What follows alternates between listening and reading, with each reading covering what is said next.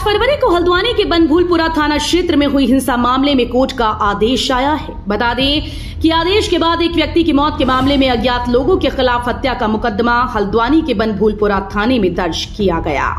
वहीं पूरे मामले में पुलिस ने अज्ञात के खिलाफ हत्या का मामला दर्ज करते हुए जाँच शुरू कर दी। दरअसल हिंसा में गांधीनगर बनभूलपुरा निवासी फईम की मौत हो गई थी, जिसके बाद मृतक के भाई परवेज ने मुख्य न्यायिक मजिस्ट्रेट की अदालत में प्रार्थना पत्र देकर आरोप लगाया कि उसके भाई की मौत हिंसा में नहीं, बल्कि उसके आधा दर्जन से अधिक पड़ोसियों ने गोली मारकर की है। साथ ही कोर्ट में कहा कि इस साजिश में हत्यारोपी का बेटा, उसके परिवार व अन्य लोग शामिल हैं।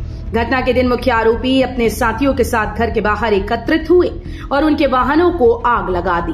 जब फहीम ने उसका विरोध किया तो पड़ोसी ने गोली मार दी, जिसके बाद घायल फहीम को तत्काल एक निजी अस्पताल ले जाया गया, लेकिन डॉक्टर्स ने उसे मृत घोषित कर दिया। वहीं आरोपियों ने इस बीच घर में घुसकर सामान भी लूटा। आपको बता दें कि फहीम की हत्या मामले में अदालत ने पुलिस को अज्ञात के खिलाफ अभियोग पंजीकृत कर जाँच के निर्देश दिए। यदि आरोपियों के खिलाफ तथ्य पाए जाते हैं तो उन्हें मामले में नामजद किया जाए और जाँच के बाद रिपोर्ट अदालत में पेश करें। साथ ही बनभूलपुरा थाना प्रभारी नीरज भाकुनी का कहना है कि न्यायालय के आदेश पर अज्ञात के खिलाफ मामला दर्ज कर जाँच शुरू कर दी गई। जो भी तथ्य सामने आएँगे, उसके आधार पर आगे की कार्यवाही की जाएगी।